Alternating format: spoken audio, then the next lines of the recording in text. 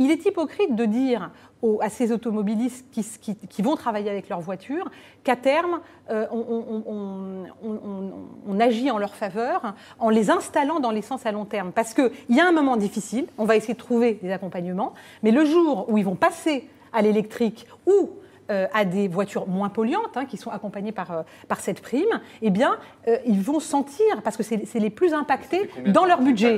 Et enfin, et enfin. Ça fait 40 ans, non, non, mais, pas 40 et enfin, ans non, mais c'est pour ça que c'est pas. C'est un vieux truc de Ce n'est pas une taxe. Excusez-moi. Et dernier point. Et dernier point. Il s'agit maintenant d'installer une indépendance par rapport au pétrole. Ça suffit, si vous voulez, cette dépendance de notre pays. Vous qui êtes attaché à la souveraineté, je le suis aussi. C'est une, notion qui a été mise à l'honneur ces jours-ci. Eh bien, nous sommes il faut qu'on commence. Vous voyez, donc ce n'est pas du tout une petite taxe, une mesurette. Il y a une vision derrière, une vision courageuse. Elle est portée par l'écologie et par l'intention, enfin, d'arriver à terme. Mais c'est ça la politique de Macron. Et son courage, c'est d'être dans le moyen terme. Je ne vous et pas seulement dans le court